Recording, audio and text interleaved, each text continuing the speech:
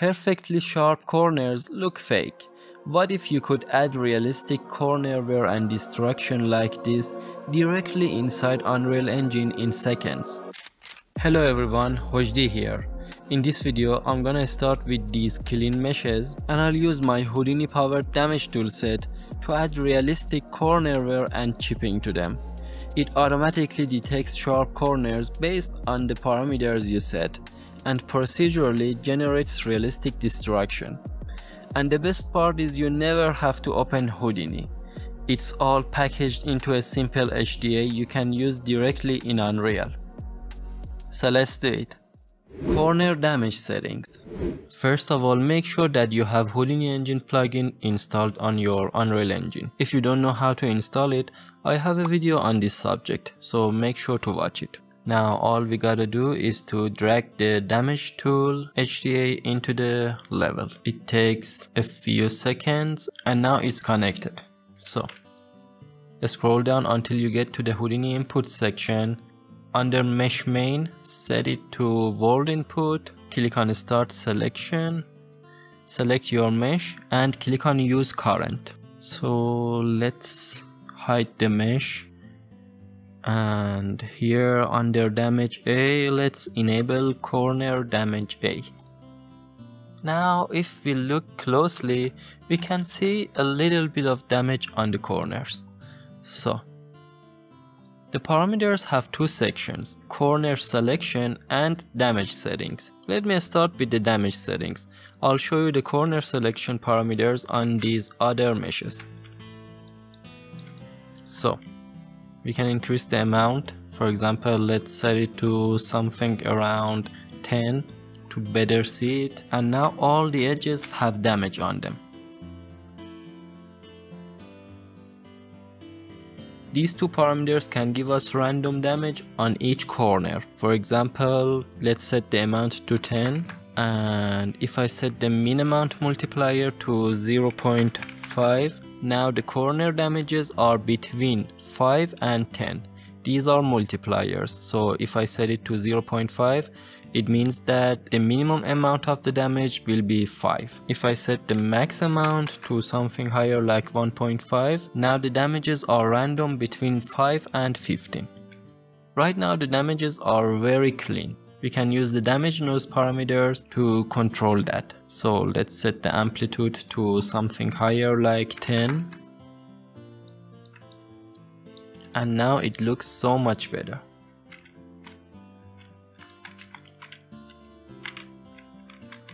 And as you can see some of the corners are really small but some others are really large. That's because of the min and max amount multiplier values we have here.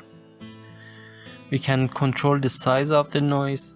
So let's set it to 5 this is what happens. And if I set it to something higher this is what happens. So we can have different looks. And we can offset it if we want to in different axes. So now let's disable corner damage A go under damage B and enable corner damage B. The parameters are the same but the damage looks a little bit different. For example let's increase the amount to 10 and as you can see it's a little more curved. We can set the minimum to something lower like 0.3 and the maximum to 1.2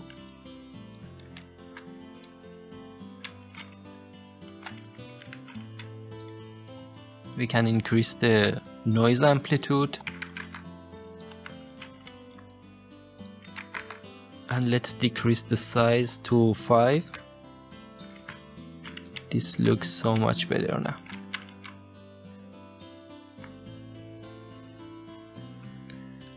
Damage A and damage B both have corner, edge and surface damage. They just look a little bit different so okay that's the damage settings parameters. Now let's go over the corner selection parameters. Corner selection parameters. Let's first clear the selection unhide this mesh. And I'm gonna show the selection parameters on this mesh. Or let's do it on this mesh. So start selection click on it and use current. Now let's hide the main mesh and here's the result. Let's go up and let's set the amount to something lower like 1.5 if your mesh disappears that's most probably because of the noise settings. So let's decrease the amplitude to something like 5 and the mesh has returned. Okay let's set it to let's set the amount to 3 yeah that's better. Okay to control which corners we want to damage, we have a pretty handy option up here called the debug option. So let's select it and set it to, right now we're using corner damage B. Let's set it to corner damage B. And as you can see, a sphere appears on every corner that the damage tool wants to damage. So now we can see which corners are going to be selected. So let's go over to corner settings the first options are curvature min and curvature max. So, for example, let's set the min to 1.5 and now as you can see some of the corners are deselected. And if I set the curvature max to 1.6 no nothing happens. If I set the curvature min to 0.5 and curvature max to 0.6 we can see that now none of the edges are selected. Let's increase the curvature max to 1 and now only these corners are selected. So we can use these parameters to select which corners are being damaged based on the curvature. So let's set it to 2 now all of the corners are selected. The next option is the random selection option. So let's enable it. Right now the percentage is set to 1 so if I set it to 50 it randomly selects 50% of the corners. And we can control which corners are being selected by the seed number. So let's set it to something else. As you can see as we change the seed number the corners which are selected change and we can control the percent too. For example let's it to 25 or 80 yeah.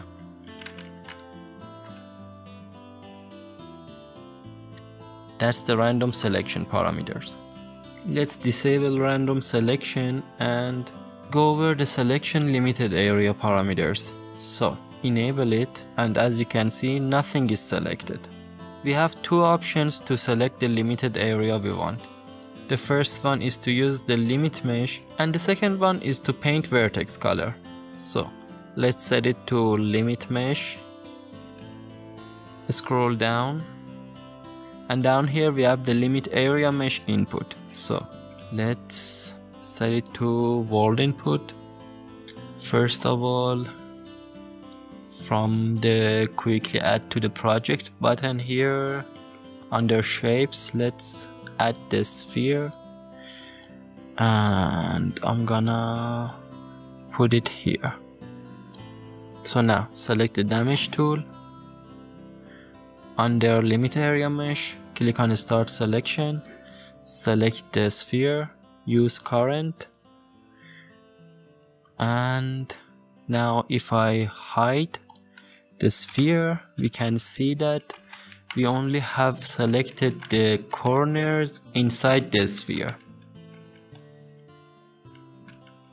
So let's unhide the sphere.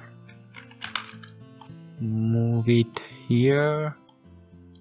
And as you can see the HDA updates. If I hide it we can see that now these corners have been selected. Let's move it up.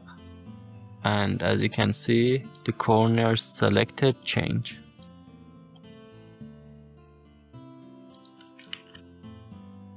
Now we have only selected the top corners. So that is the limited mesh option. So let's set it to vertex color hide the damage tool and let's unhide the mesh. From here while the mesh is selected let's go to mesh paint mode.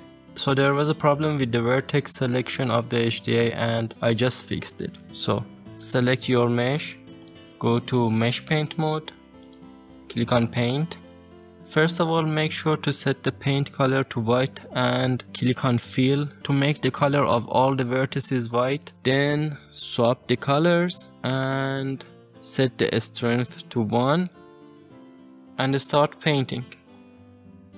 For example, I want this one and this one and this one. After you're done with painting, go back to the selection mode select the damage tool and click on rebuild. And now as you can see the corners which I painted on are selected. So we have two options for the selection limited area the vertex color and the limit mesh. Let's set it to limit mesh which is this sphere.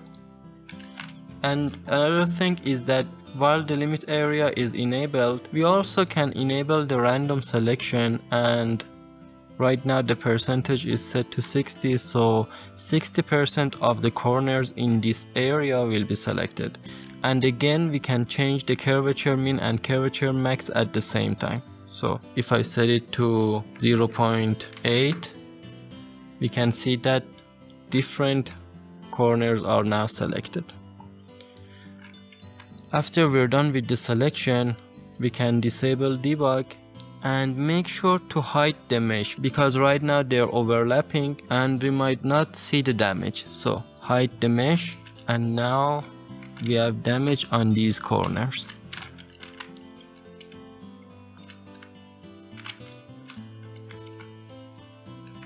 So let's disable random selection and yeah that's the way to do it.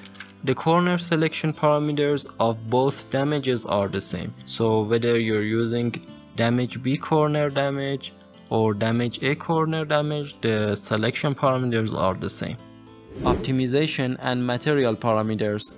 Right now the view mode is set to preview. This helps with fast iteration between different parameters and changing the values. And if I set it to wireframe, we can see the result. Now, if I set the view mode to detail view 1 and wait a little bit, we can see now the mesh is final and it looks so much better.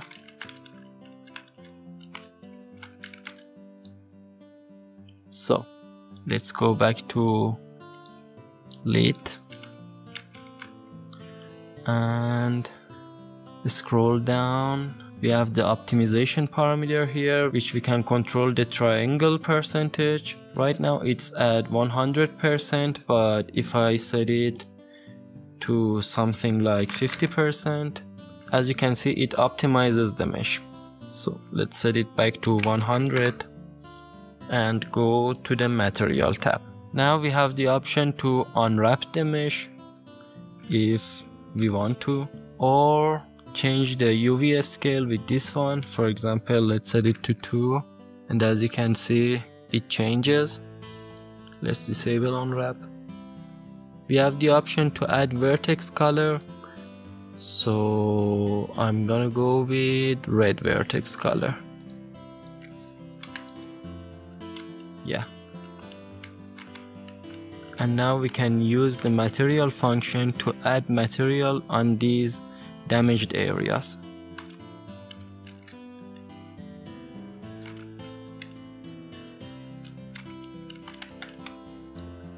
Let's go to the materials folder and use the vertex color material to better see the vertex color so as you can see it add vertex color not only to the damaged areas but also to the edges. We can also use these parameters to control how it looks. Let's set the multiplier to 2 4 8 yeah this looks better. We can set the blur amount to 0 or 2 and we can use this ramp to control how it looks.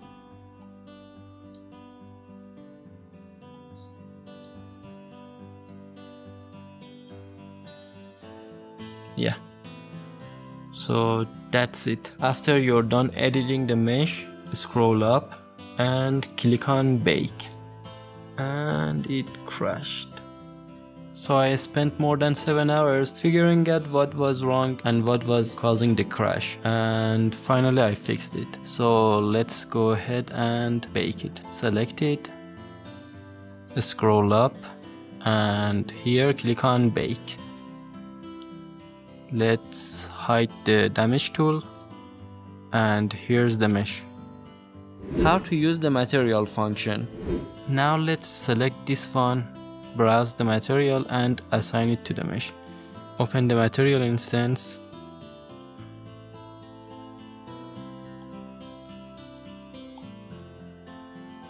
And here open the master material. It's a quixel master material and all we need to do in order to use the vertex colors is to add the material function I've provided with the asset. So let's browse to it and here's the material function. All we need to do is to add it to the material and connect it in between these two nodes before the main node.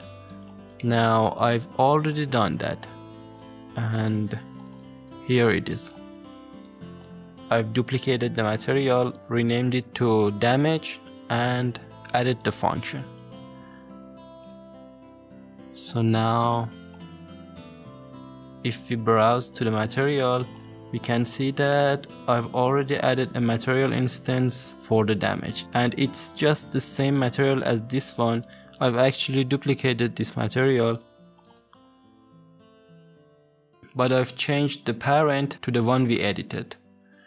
And after changing the parents now we have the damage section in the material instance. And we can use it to add the damage textures and control the other parameters.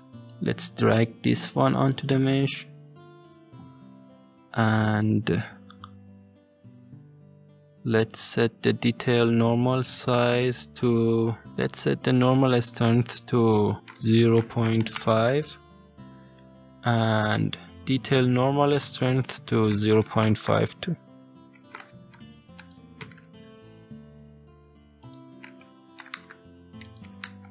let's actually scroll down until we get to the normal strength section and let's set it to 0.2 yeah that's better